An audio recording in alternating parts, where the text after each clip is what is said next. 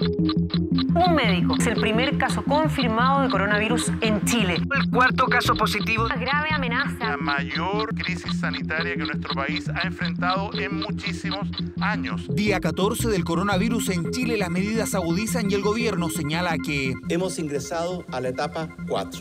El país se pone en alerta, el cuidado y la higiene son importantes, el aislamiento preventivo es fundamental. Cuando tenga un diagnóstico o una sospecha fundada de que puedo tener un coronavirus, hacer la cuarentena voluntaria. Somos Pablo y Marí y aquí estamos encerrados partiendo nuestra cuarentena. Así lo entendió esta pareja de Concepción que recorrió Europa los últimos cinco meses.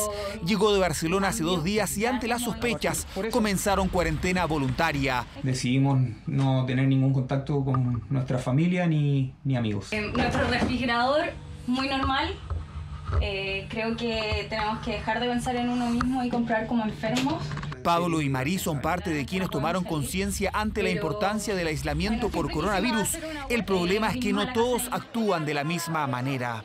Para mí esto es una vergüenza. No tengan la responsabilidad de cuidar la salud de, de, las personas. Esa fue la respuesta del intendente de la Araucanía tras conocerse el caso del joven de 29 años que viajó de Santiago a Temuco el último viernes. Tenía síntomas de coronavirus, no hizo cuarentena ni esperó el resultado de los exámenes que dieron positivo. Es una psicosis tremenda esta. Entonces que venga un irresponsable y que haga esto. Igual me parece mal porque tenemos que tomar precaución por lo que está pasando. Salió del aeropuerto con una mascarilla y eh, se subió a un auto particular viajando con los tres, eh, tres amigas con las que venía en el vuelo. No usó mascarilla durante el viaje y por su acción 27 personas terminaron aisladas. El gobierno presentó este lunes una querella contra el sujeto.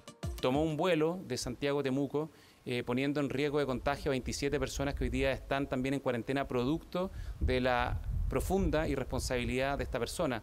Las medidas se intensifican, habrá posibles penas de cárcel y multas de hasta 2 millones y medio de pesos para contagiados que no respeten la cuarentena. La situación es compleja en Concepción. 100 personas quedaron aisladas luego de ser parte el pasado viernes de un evento donde el médico expositor tenía coronavirus. En los últimos dos casos ya hemos perdido la trazabilidad y por lo tanto tenemos circulación viral, eh, ya sea a nivel nacional y a nivel regional. Realizar cuarentena y evitar lugares públicos es fundamental. La fase 4 del COVID-19 significa la transmisión sostenida del virus. Cuando tenemos un paciente que presenta un coronavirus y lo está diseminando, lo disemina en muchos lugares, entra en contacto con muchísima gente y esa gente a su vez funciona nuevamente como diseminación de este virus.